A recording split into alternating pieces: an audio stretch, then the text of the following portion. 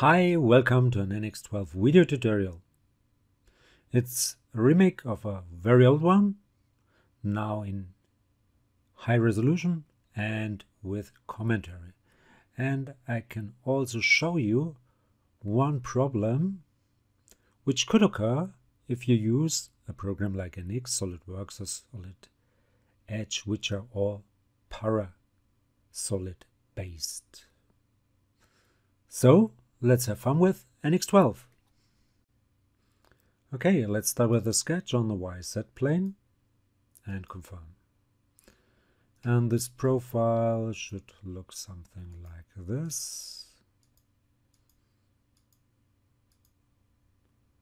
Okay, there is no possibility to define a center line in the sketch in NX. So if you want to use diameter dimensions, you have to draw a phantom half of this profile and then you could do diameter dimensions. So I don't want to do this. Let's add dimension here, that would be 60. This one would be 30. That one should be 25. This would be 20 and that distance should be 30. Now let's put this point here onto that sketch origin like this so the sketch is fully defined. Finish that sketch. Now I want to make a revolve. So go for revolve not a single curve, but connected or go for infer, which should take them all. Now you have to specify vector. You could use this line here, or you could go for the axis. So I want to go for the axis. Then you need that point here, and I want to go for 360 degrees and confirm. Now I need another sketch on the same plane. Let's try to select it, yes, and confirm. And I could hide that sketch. And the next sketch should look something like this.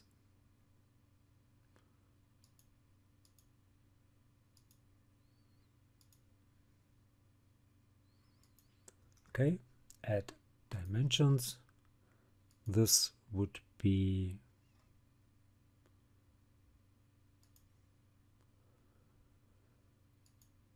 fifteen.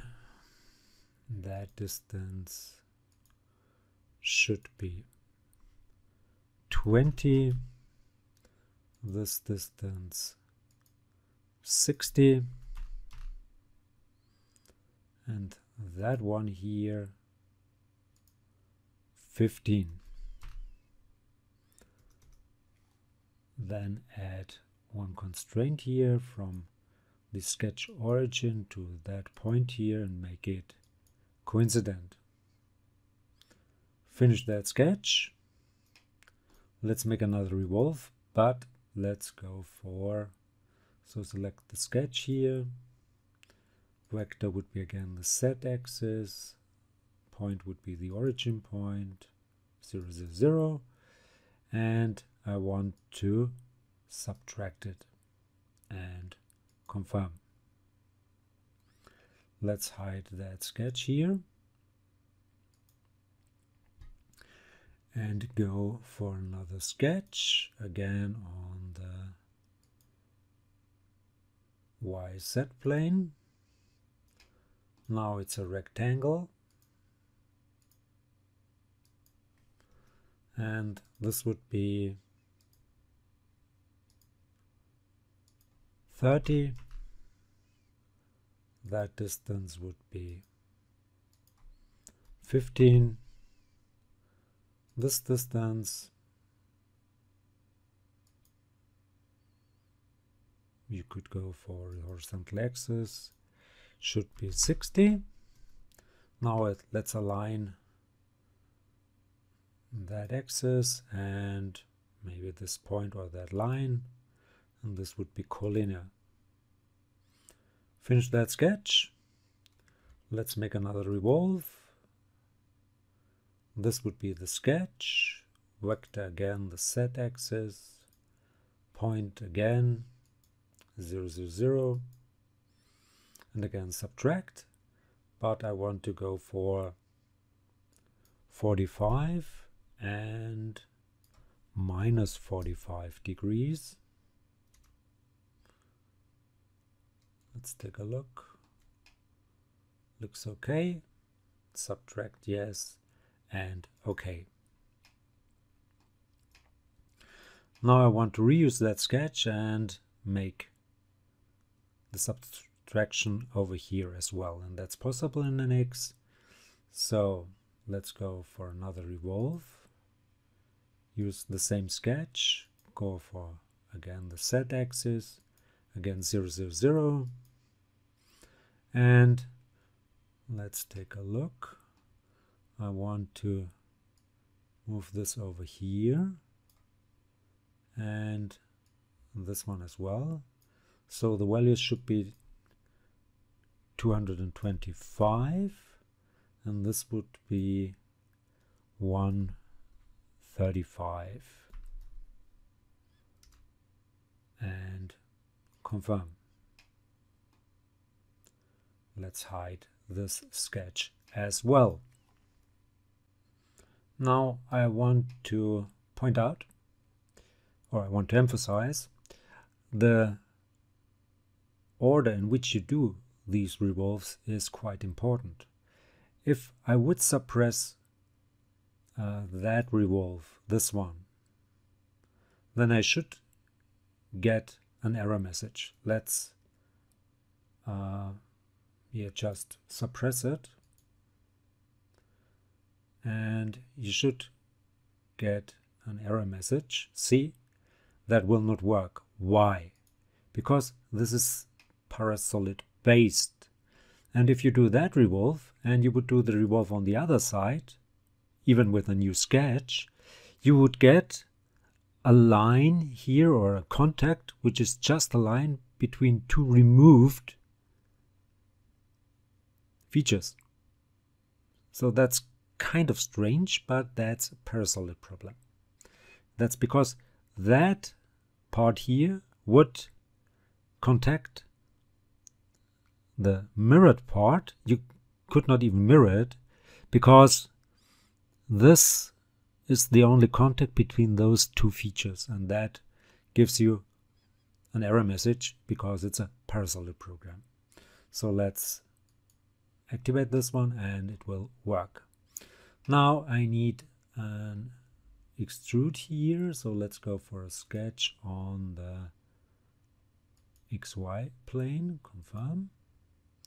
So turned around but doesn't really matter. I need a rectangle which is 8 by 18.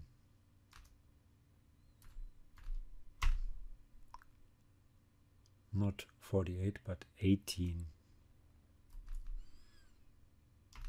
Like this. And then put that midpoint onto that sketch origin. Coincident. Finish that sketch. Now it's on this side. Take care. And I need an extrude with that sketch here. And it should be subtracted. And it should go up to until next, until selected, or through all. Let's go to until selected. That would be the surface here. So that doesn't work. So you have to go for until extended. That would extend that surface and it would completely limit that extrusion. And confirm. Nice. Let's do the chamfers. These are symmetric, yes. 2 millimeter, yes. select those edges like this and confirm. There are many ways to do that hole. I want to do it with a point and the hole tool. So how to get that point? I will go for a point here and the coordinates of that point would be let's take a look not this one but an inferred point let's go for x should be minus 25 y should be 12 and z would be no not y is not 12 y is 0 sorry. And z would be 12 no offset option and let's confirm which gives me that point here. So now I want to use the hole tool. So select the point maybe go for the hole tool and it goes normal to that selected face, which is okay. It's a general hole, but not a counterbore one, a simple one. Diameter should be 8. And the depth limit should be until next or until selected. If you go for until selected, you can select this surface here and that should work and confirm. And I'm done. So I hope this was helpful. Hope you liked it. If you did like it, please give it a like or leave a comment. If you want to see more, please give it a like or leave a comment. Please subscribe to my YouTube channel. Please subscribe to my Facebook fan page. Would be very nice of you. I want to get more likes and subscriptions over there as well. Thanks for watching. See you to the next one. Bye bye.